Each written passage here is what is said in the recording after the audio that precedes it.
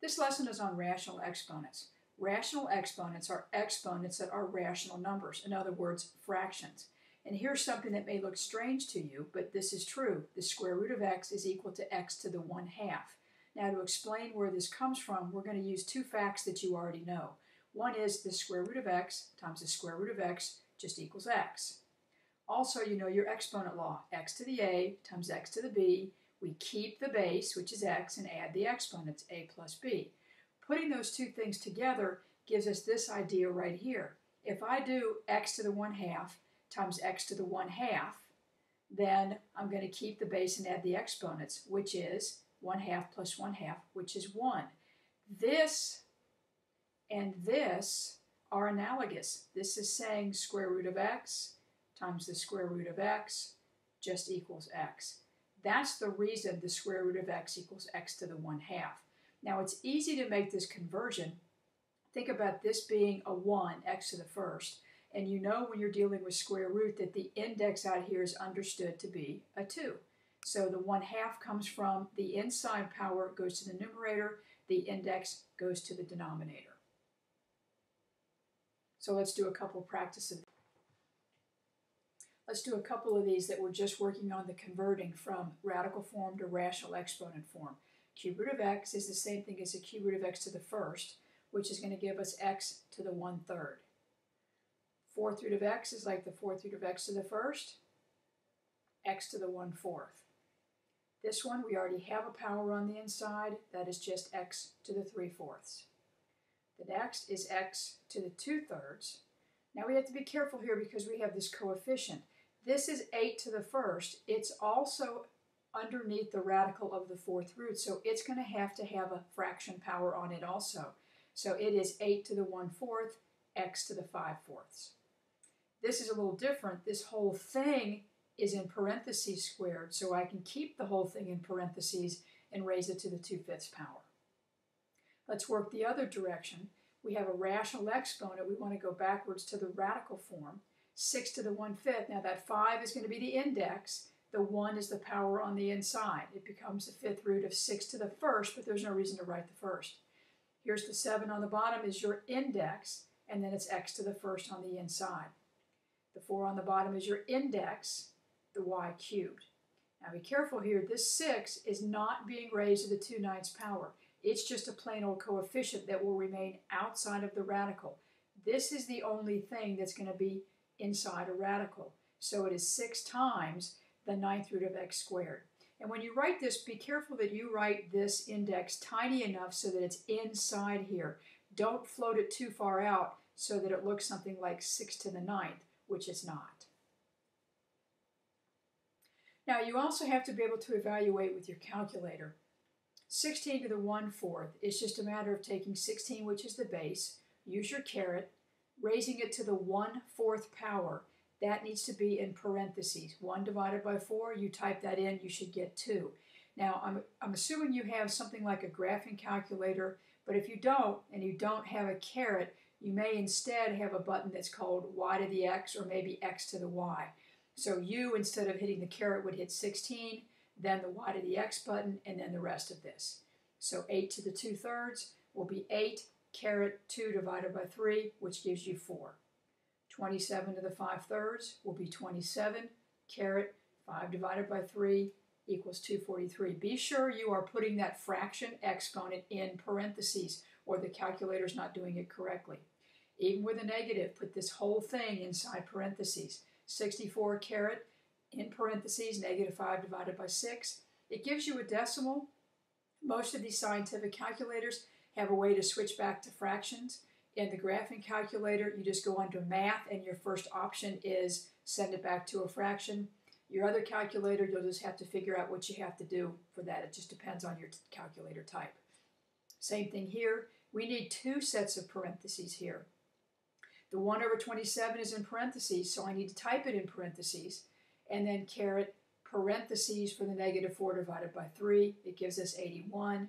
Same kind of setup on this. 27 eighths, caret in parentheses 1 divided by 3 is the decimal 1.5, which is also the fraction 3 halves. Now we're going to do some problems using these rational exponents. and our exponent laws that we've already learned.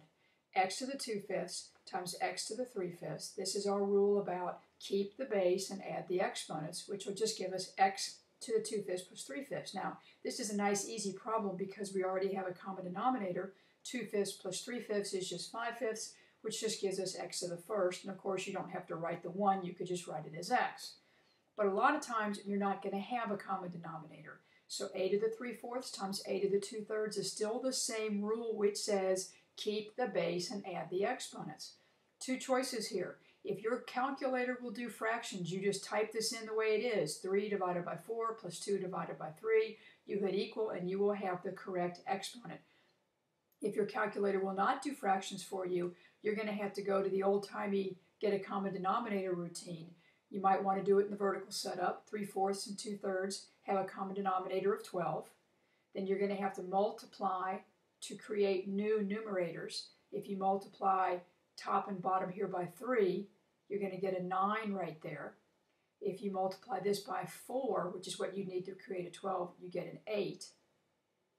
And that's going to give us 17 twelfths. So that's the exponent that goes on the a, a to the 17 twelfths. All of that could be avoided if you have a calculator that will do the fractions for you. Now, here's your other exponent law. This was your law that says keep the base and multiply the exponents because this is raising a power to a power. So if we do 3 times 1 fourth, we just get 3 fourths, and we're finished. No common denominator necessary because we are multiplying the fractions. Sometimes there's a little more work there, but it's the same idea. We're going to keep the base and multiply these. Conveniently, this 7 and this 7 cancel out, and we're going to have x to the 4 ninths, and we're finished. Now, we can also use this rule when there's more things inside the parentheses. We're going to have to raise all of this stuff to the third power. This 3 is a coefficient, so we have to do 3 to the third to begin with. And then use our rule that says multiply the exponents. 3 times 1 half is 3 halves. If you have to do it by hand, you can just do 3 over 1 times 1 half. That's where the 3 halves comes from. Or type that in your calculator. 3 times a third gives us 3 thirds. Now let's clean this up. 3 to the third, which you either know or you type into your calculator, is 3 caret 3. Gives us 27. X to the 3 halves, nothing we could do there. But 3 over 3 just simplifies to 1, or just plain old y. Same kind of problem we just did, but this time we've got some negative exponents to deal with. There's a couple ways to deal with the negative exponents, and the first way I'm going to show you is just a matter of distribute. That negative 1 half has got to distribute to everything inside the parentheses. So it's a matter of multiplying that negative 1 half times everything. Negative 1 half times 2 gives us negative 1. Negative 1 half times negative 3 is a positive 3 halves. If you have to write that down, negative 1 half times negative 3, which is negative 3 over 1, gives us a positive 3 halves. 4 times negative 1 half, that's 4 over 1 times negative 1 half. That's how we get the negative 2. We're not finished with this.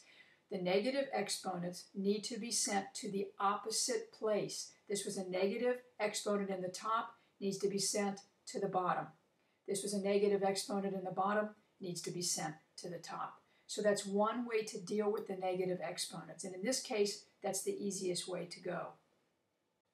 The other way to deal with this is to deal inside the parentheses and to take care of this negative exponent on the inside. If you watch the other videos I've done on exponent laws, I've always said deal with the inside first. And the one thing I could do on this inside is take this negative exponent and send it down to the denominator. So that's all I've done is simplify the inside just a teeny bit it is still to the negative one half. The other thing we said about negative exponents on the outside is that that tells you to flip the whole thing. So this becomes y cubed, z to the fourth on the top, with an x squared on the bottom. It is still being raised to a power, but because we flipped it, it is now to a positive one half.